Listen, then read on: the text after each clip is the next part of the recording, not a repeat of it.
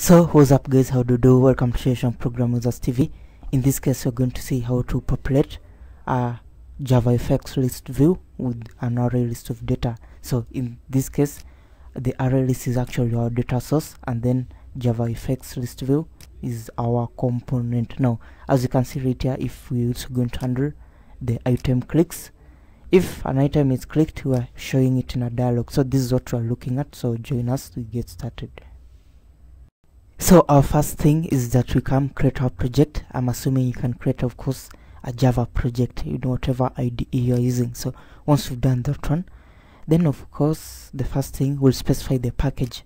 Normally classes are organized in packages. So that's our package info camposha. Then of course right here we're going to create our class. I'm just calling it main. Okay you can see right here main.java it's my class. I'm going to have some imports and these imports all of them of course uh, most of them are javafx imports okay? As you can see right here. Now the next thing we're going to make our class extend from application. You can see it's telling us that main class must either be declared abstract or implement abstract method start given that we've implemented this particular appli we've extended this particular application class. So we'll come first come right here and then we'll come to that one later on we're going to create an instance field called mlistView of course it's a list view object okay? Java fx dot uh, scene dot control um dot list view okay? Now we come right here. The next first thing we're going to do is we're going to create a helper method that's going to help us in populating our list view with data. So we come first populating our array list with data. Now array list of course nebula equal to new array list this is just a generic array list of strings. You can clearly see right here we are populating it with as you can see um, of course the nebulas okay? We populate our array list with nebulas various of them from pelican to butterfly to orion all of them. So once we've populated our array list then we're going to loop through that array list it's an array list of string so we come and say for string nebula nebula. Then we'll come and say mlistView dot get items. Then we call the add method okay?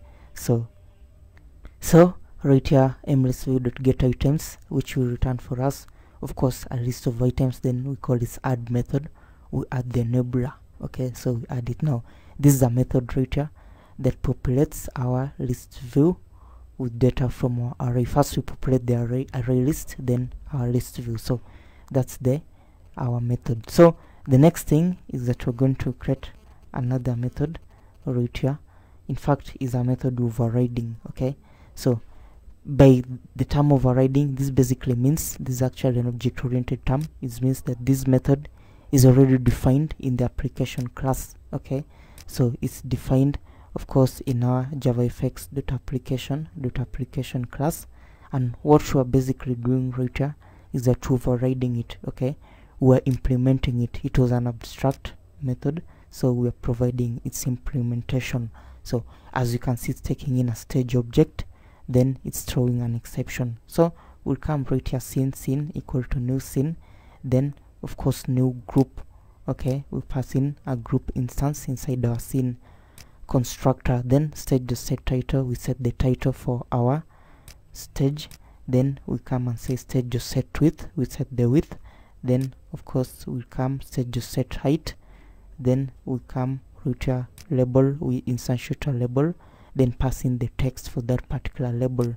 Then of course title label dot set font. We set the font as lucida and then the size as 20 then we invoke our populate data method now come put here we're going to invoke another method called handle item clicks which we'll look at later on.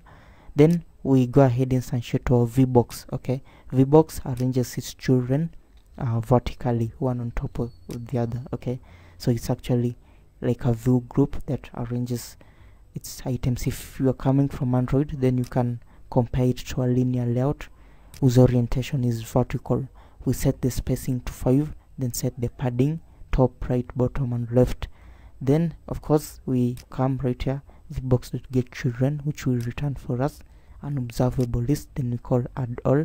We add our title label. We also add the list view. So label and list view we add them in our vbox we set the alignment to center okay?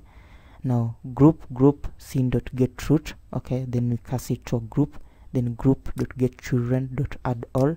We add the vbox okay then we call the set layout x then we call the set scene we pass in the scene.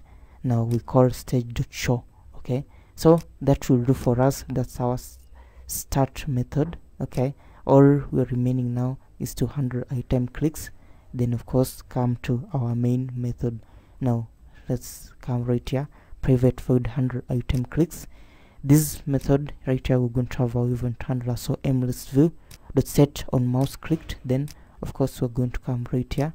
String selected item equal to mlist view dot get selection model dot get selected item dot to string. We get selected item then we instantiate our dialog okay? Then we're using the alert type dot information. We pass in the selected item.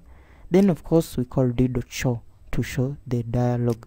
Now once we've done that one we'll come to our main method then of course inside the main method here we just call application dot launch then we pass in right args okay? Now all that's all we need. We now come and then run the project. So if we run our project you can see what we're getting right here. So of course we can just come and then of course have our stuff right here. And then whatever we are able to get whatever we select okay? So this is it right here okay? So we select an item then it gets shown to us. So this does it right here our project. Go ahead subscribe to our channel ProgrammingWizards tv like the video share it and take care. I'll catch you in the next class